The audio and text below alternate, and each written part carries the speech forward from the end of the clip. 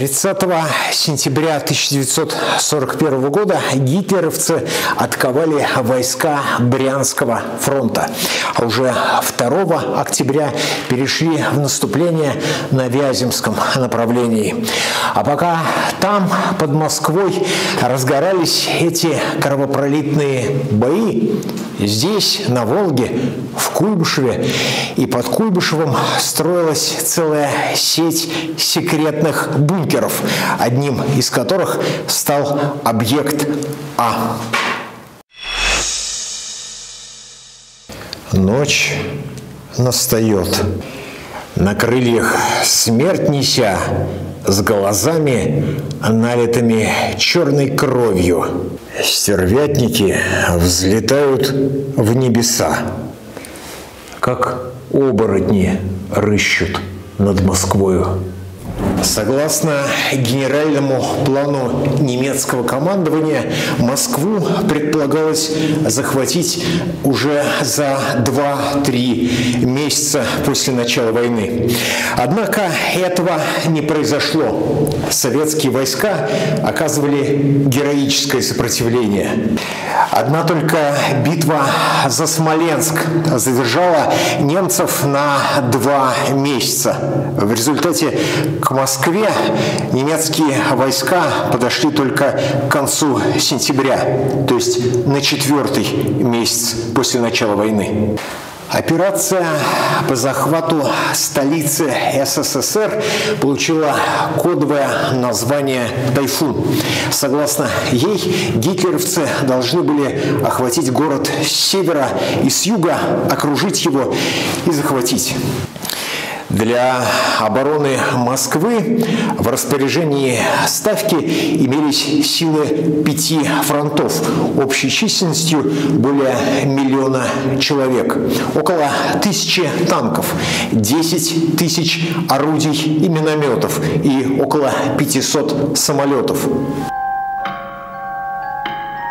Говорит Москва от Советского информбюро. Последний час. Наши войска вели ожесточенные оборонительные бои, сдерживая наступление ударных фланговых группировок противника и отражая его вспомогательные удары на Истринском, Звенигородском и Нарофоминском направлениях советским командованием был организован рубеж на Можайском направлении. Жителями города в спешном порядке ставились противотанковые ежи и рылись окопы. 20 октября в Москве было введено осадное положение. В эти дни здесь, недалеко от Куйбышева, под военным санаторием «Волга», днем и ночью сооружался секретный бункер. Десятки специалистов, сотни рабочих рук, которые принадлежали безымянным строителям, большинство из которых, может быть, так никогда и не узнает, отстоим ли мы Москву.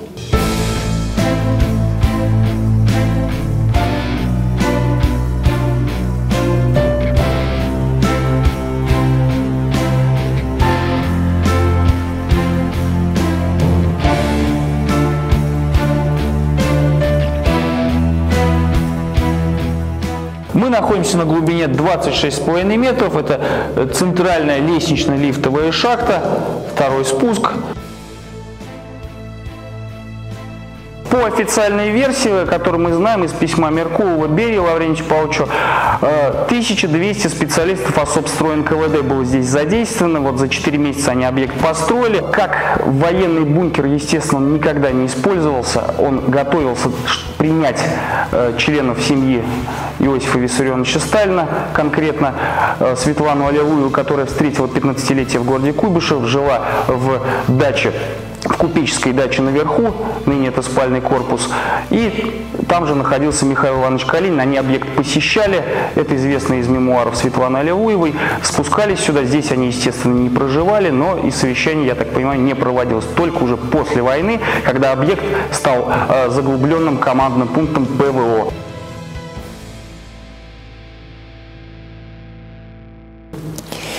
Генеральный штаб, для которого и сооружался этот бункер под Куйбышевым, был создан еще в мае 1918 года как орган оперативного военного управления. В разное время его возглавляли Фрунзе, Каменев, Тухачевский, Шапшников. Не все из них дожили до начала Великой Отечественной войны, а некоторые ушли из жизни и не по своей воле. Но, как бы то ни было, в феврале 1941 года начальником генерального штаба был назначен Георгий Константинович Жуков. Жуков Георгий Константинович, советский полководец, маршал, Четырежды герой Советского Союза, кавалер двух орденов Победа, множество других советских и иностранных орденов и медалей. В ходе Великой Отечественной войны занимал должности начальника генерального штаба, командующего фронтом, члена Ставки Верховного Главнокомандования, заместителя Верховного Главнокомандующего Вооруженными силами СССР. В послевоенные годы получил народное прозвище «Маршал Победы». Назначенный на должность начальника генерального штаба 44-летний Жуков стал таким образом вторым после наркома обороны Тимошенко человеком в иерархии Красной Армии. Почему Сталин назначил именно его? По мнению самого Жукова, Сталин счел его способным осуществить план войны с Германией, принятый осенью 1940 года. Этот план основывался на мощном контрнаступлении с Западной Украины на Южную Польшу. Кавалерист, командир мобильного соединения в Белоруссии Жуков еще на Холхенголе в 1939 году проявил себя человеком смелым, решительным, энергичным, умеющим вести наступательные действия и применять в бою танки. Кроме того, в его пользу говорило знанием местности и войск Киевского особого военного округа, которым он командовал. Важную роль в назначении Жукова на новую должность сыграло то, как он действовал на январских играх в 1941 году. Сталин лично предложил занять ему должность начальника генерального штаба сразу после обсуждения итогов штабной игры, то есть 15 января 1941 года. Итак, 1 февраля 1941 года Георгий Константинович Жуков стал начальником генерального штаба Красной Армии. Был ли он рад этому назначению? Едва ли. Еще в 30 году, аттестуя его, Рокоссовский писал, на преподавательскую и штабную работу назначен быть не может, так как органически ее ненавидит. Но рад он был или нет, а значения не имело, так как, разговаривая с ним, вождь был однозначен. Политбюро решило назначить вас. Строительство по официальной версии началось в самом начале войны в 1941 году, летом, уже э, в августе. В начале августа, конец июля начали все строить, готовить, готовить Куйбышев для запасной столицы, делать из него запасную столицу, поскольку Куйбышев у нас имеет очень выгодное расположение, естественная водная преграда Волга.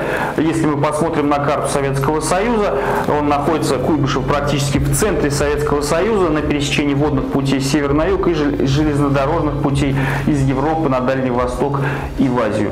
Комната отдыха, три ржавые кровати. Когда объект был заброшен, здесь стояла вода, они едва торчали на поверхности. Зрелище было очень-очень атмосферным. Очень старые кровати. На сочленении, как видите, узоры некоторые сохранились. Эта комната использовалась для отдыха. Планировалось использоваться для отдыха, когда объект был как бункер. Ну и когда уже здесь был заглубленный командный пункт, тоже солдаты могли в перерывы здесь передохнуть. На новой должности начальника генерального штаба Жуков пробудет совсем недолго, с февраля по июль 1941 года. Впереди у него, у Жукова, будут оборона Москвы и Ленинграда, Сталинград и Курск. Но это будет потом, позже. А сейчас в июне-июле 41-го было отступление и оглушительные потери, на восстановление от которых уйдет не один день. В июле 1941 года Жукова освободили от этой тягостной для него должности и поставили перед ним другие задачи. Непонятно одно, почему этот бункер, сооружавшийся летом, осенью 41-го для генерального штаба Красной Армии, получил в таком случае его имя. Что-то здесь не сходится. Или строительство этого бункера началось гораздо раньше, чем летом 41-го. Или народная молва ошиблась, назвав этот бункер бункером Жукова, который не имел к нему никакого отношения. Впрочем, если бы это была единственная тайна, связанная с этим секретным подземным сооружением, тайным же несть числа, и это одна из многих. Тайн в бункере Жукова действительно очень много. Мы находимся в большом, в главном оперативном зале, который в военное время предназначался для решения различных задач, обсуждения их и для совещаний. Под потолком мы видим лепнину, которая скрывала вентиляцию. Ну, сейчас и вентиляция, и э, липнин уже наглядно доступны, все открыто, все дефлекторы раньше скрывались.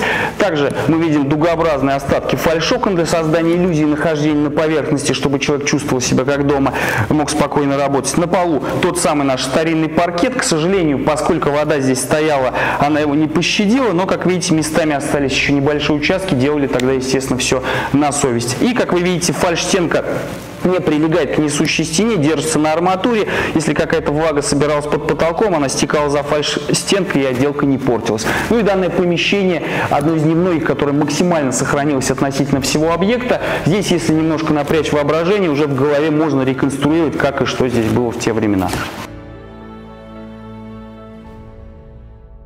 К осени 1941 года этот бункер был в основном построен. А 15 октября 1941 Государственный комитет обороны СССР принял решение об эвакуации Москвы. Уже на следующий день из города начали эвакуировать управление Генштаба, военных академий, наркоматов. Осуществлялось минирование мостов, электростанций и других учреждений учреждений. 16 октября Москву охватила паника, которая возникла из-за прорыва Можайской линии обороны и возможного появления передовых германских войск в столице. Паника продолжалась всего один или два дня, но была настолько сильной, что вошла в историю как кратковременный московский позор. Сегодня некого спросить, что происходило в эти дни здесь, в этом секретном бункере возле Волжского берега. Кто ходил вот по этим самым коридорам и какие раздавались здесь команды. Ясно одно. Пока мы не узнаем всех тайн, вряд ли мы вправе говорить о том, что знаем все о той войне, которая унесла миллионы жизней наших дедов и прадедов. Это они строили этот бункер и обороняли Москву. И та победа, которую мы помним и которой гордимся, это в первую очередь их победа.